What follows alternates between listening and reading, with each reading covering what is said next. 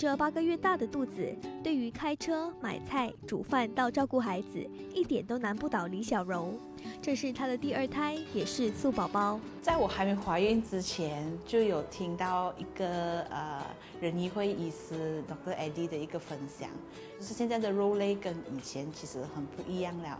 然后呃营养价值方面呢，肉类的肉类有的营养，其实在植物那里也是可以找到呃代替品的。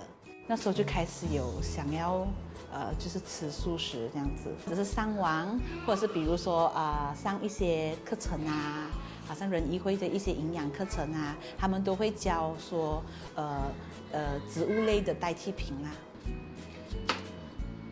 我现在胎里素跟我之前第一胎吃肉的是。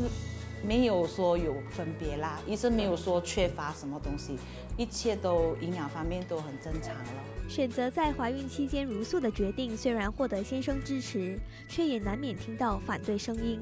他选择就是这一胎要吃素的话，我也是赞同的啦，因为毕竟素食你可以通过别啊各种不同的方式来来吸取营养。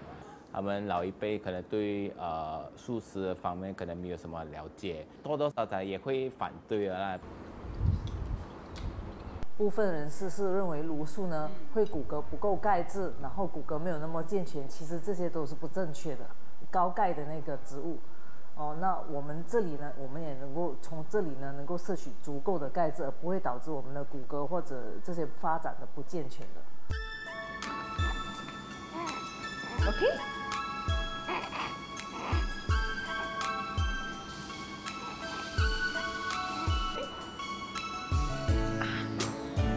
的整个头骨都是盖完的，啊，就感觉骨骼会比较健康哦。了解各种食物属性，孕妇茹素也能让肚子里的宝宝吸收足够的营养，健康成长。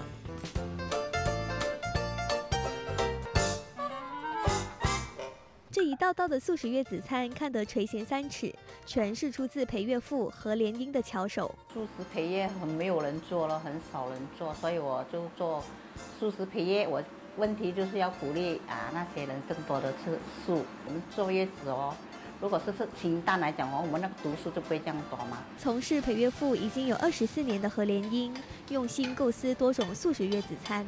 安迪会根据呃。我们产后需要补的营养，然后烹饪给我们。安迪他煮方面都很合胃口，就每一餐都吃得很 很很开心，然后吃得很很很饱啊。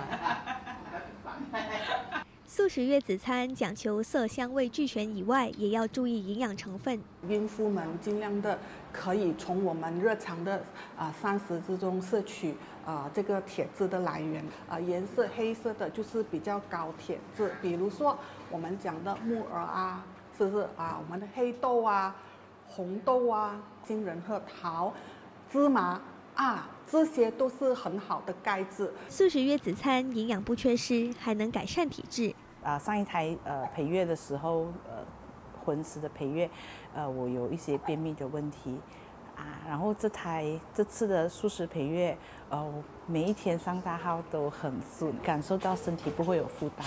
俗话说，月子做得好，一世无烦恼。只要摄取均衡营养，靠舒适也可以舒适的坐好月子。大爱新闻刘婉俊、林彦君、罗国聪、张之亮，马来西亚雪兰莪报道。